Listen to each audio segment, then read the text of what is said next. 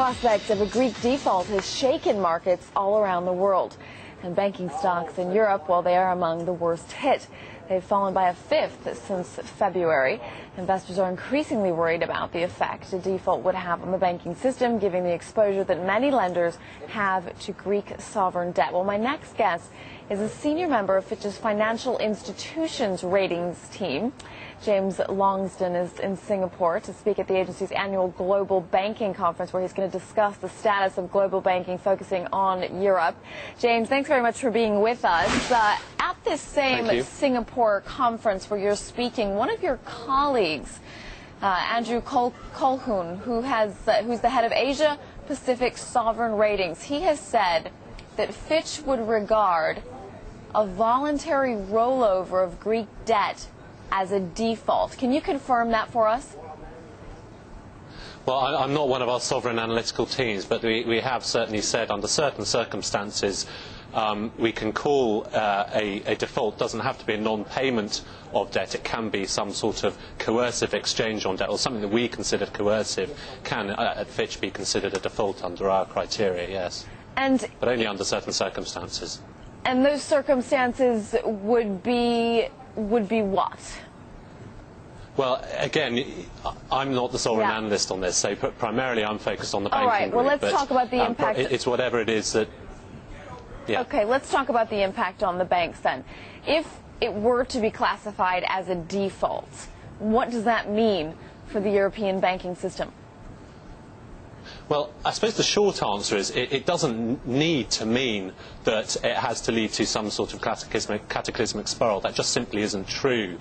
Because um, when you, while, while, certainly the major European banks, some of them, you know, some of the banking systems you know, have what on the face of it look like large numbers. For example, the French banks have in the region of 10, 11 billion of sovereign debt exposure to Greece. You know, in the scheme of in the scheme of things, that isn't a particularly large number relative to the size of the very large banks that, that own it. So approximately, for example, the, the, French bank holdings is only equivalent to maybe four or five percentage points of their but capital James, base. So on that basis, it doesn't need to be, um, it doesn't need to be, and, and, it just isn't a fundamental sort of solvency risk. It's what happens next. You right. know, that, that's the risk is it, at the end the of the question... day. It's the contagion. And would, would there be contagion, even if the banks could absorb the Greek losses? Would the market then panic and think, well, if Greece can default, then you know Ireland and they can ask for, for better terms as well on their debt? Okay, now that's a good question. It, it, doesn't have to be the scenario that there has to be some sort of full-scale risk aversion in the sort of ilk that was the case you know, in the in the sub in the in the postscript to, to Lehman Brothers defaulting, for example. That is certainly one scenario. There would certainly be some fallout, um, but you've got to take this in the context that the banks are considerably better capitalised than they were pre-Lehman. They're considerably more liquid than they were pre-Lehman. So, should they be able to contain the contagion that does happen, there would be some fallout for sure to a, a sort of relatively moderate level, relatively short-lived level. There's no particular you know, reason to think that this is a sort of fundamental issue that undermines the European banking system. That just simply isn't true. The numbers of exposure, whether it be to Greek sovereign debt, to Irish sovereign debt, really a minimus level of exposure to Irish sovereign debt and to Portuguese sovereign debt, little exposure, likewise to the banks in these countries. So it's really what the market make of it. You know, at the end of the day, if there is some sort of concerted um, sense that the policyholders have a grip of the situation and they can undermine, underline the situation, put a floor under it and stop it spreading to Spain, Italy, for example, then certainly it ought to be containable for the large banks. All right, James, I want to ask you about an article that we had in the Sunday Telegraph over here reporting that a credit crunch may actually have already begun.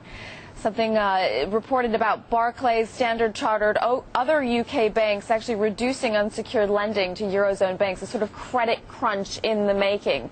Is this a big worry? You know, again, this is the sort of the same, the I guess there's another way of saying the same thing. You know, banks will automatically and counterparties will automatically react to any bad news. Now, it's the, the question is how long and how deep that bad news is. You know, if there is a long, protracted risk aversion, everybody pulling out of bank risk, then clearly that, that is a concern. It has to be a concern. Um, but if this is some sort of temporary thing, then banks have built up sufficient amount, you know, large amounts of capital, much, much more liquidity the banks have. That's really important relative to pre-Lehman Brothers. So relatively short-term gyrations, if you like, uh, uh, ought to be very absorbable and by James, the large banks. It's really the depth and length. What about the CDS market? If you have a default without a default, then it doesn't get triggered, it doesn't get kicked in, and then that means Yeah. that maybe it's pointless to have that CDS insurance. What's it, your it concern certainly here? is. Well, again, you know, that, that's the issue, uh, for example, with Greece. You're saying, do you get naked exposure effectively? What you, where you thought you brought protection, you're not protected. Again, our view is that at the moment, that's not going to make a whole heap of difference, to be honest. All right, James Longsdon of Fitch Ratings. He's co-head of EMEA Financial Institutions. Thanks very much for helping us shed light on this Greek debt crisis. All right.